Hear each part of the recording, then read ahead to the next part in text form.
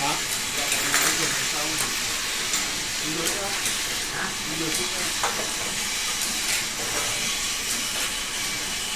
Để lên thôi để nó vào tặng cái tâm của nó, có lên được đến